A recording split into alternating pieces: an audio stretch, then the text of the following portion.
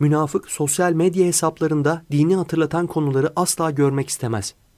Müslümanlar tek bir paylaşımla on binlerce insana ulaşabilecekleri sosyal medya imkanlarını İslam'ı tebliğde en etkili şekilde kullanmaya çalışırlar.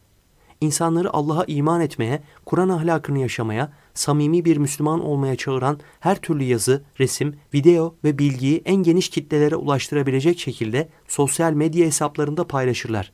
Profillerinde ise kendilerini aynı gerçekte oldukları gibi Allah'a aşığı, samimi bir Müslüman olarak tanıtmaktan gurur duyarlar paylaşımlarıyla ne kadar dindar olduklarını, Allah'ı ne kadar çok sevdiklerini, Kur'an ahlakını yaşamakta ne kadar titiz ve şevkli olduklarını açıkça vurgularlar. İnternetteki tüm sosyal medya platformlarındaki diğer Müslümanların hayırlı faaliyetlerine de olabildiğince destek verirler. Faydalı ve etkili olacak, Kur'an ayetlerini anlatan, İslam ahlakını tebliğ eden her türlü paylaşımı beğenir ya da kendi sayfalarında da yayınlarlar. Münafık ise Müslümanların tam aksine tüm bu paylaşımları yapmaktan titizlikle kaçınır.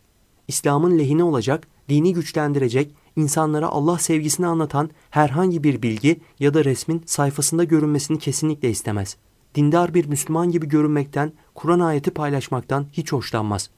Küfrü eleştiren, dinsiz ideolojilerin açmazlarını anlatan, Allah'ın varlığını bilimsel delillerle ortaya koyan bilgileri sayfasına eklemeye ise asla yanaşmaz.'' Kendisi bu bilgileri eklemediği gibi Müslümanların hayırlı paylaşımlarına da beğeni yapmaz ve bu bilgilerin yaygınlaşmasını istemediği için bunları paylaş seçeneğini seçerek de kendi sayfasında yayınlamaz. Münafık bunları yapmadığı gibi insanlara Allah'ı sevdiren, Kur'an ahlakını öğreten, İslam lehine paylaşımlar yerine insanları İslam'dan soğutmayı amaçlayan küfrün, dinsizlerin, ateistlerin, sapkın akımları destekleyen kimselerin paylaşımlarını beğenip bunları kendi sayfalarında da paylaşır. Bunların çoğu Rumilik, homoseksüellik, Darwinizm safsatası, ateizm, Marksizm, komünizm gibi insanları İslam'dan uzaklaştıran sapkın ideolojileri savunan kimselerdir. Buna rağmen münafık söz konusu kişileri açıkça desteklemekten ve onlarla dostluklar kurmaktan hiç çekinmez. Ayrıca münafığın sosyal medya hesaplarında asla yer vermek istemediği konulardan biri de münafıklıktır. Çünkü bu münafığın duymayı asla istemediği konulardan biridir bu konuyu anlatan bir ayeti, bilgiyi, videoyu ya da resimli açıklamayı hiçbir yerde görmek istemez. Bu nedenle Müslümanların bu konudaki bilgilendirici çalışmalarını da kesinlikle kendi sayfasında paylaşmaz. Ve bu konularda paylaşım yapan, sayfalarında münafıklık ile yoğun bilgi bulunan Müslümanların sosyal medya hesaplarını da hiçbir şekilde görmek istemez. Ancak diğer yandan bunu açıkça uygulamaya koymasının birlikte olduğu Müslümanların da dikkatini çekeceğini bilir. Bu nedenle her ne kadar istemese de zaman zaman İslam'ın tebliğ edilmesinde çok etkili olmayacağını düşündüğü yüzeysel bazı paylaşımlar yapar. Ancak bunda da çok sinsi bir taktik izler. Müslümanların lehine bir paylaşım yapıyorsa hemen ardından bunu telafi etmek için en az 4-5 tane insanları küfre ve sapkın akımlara özendirecek paylaşım yapar.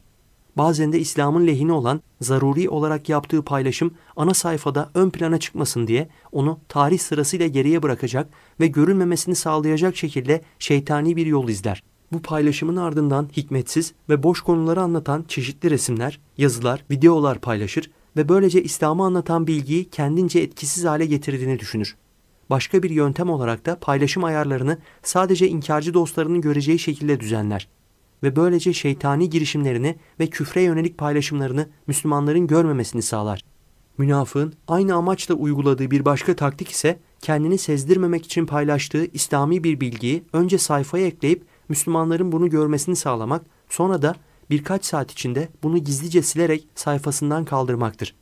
Bu sinsi taktiğini herkesin gördüğünü ve ne amaçla yaptığını anladığını fark etmesine rağmen Müslümanları aldattığını sanarak hayasızca bu yöntemi uygulamaya devam eder.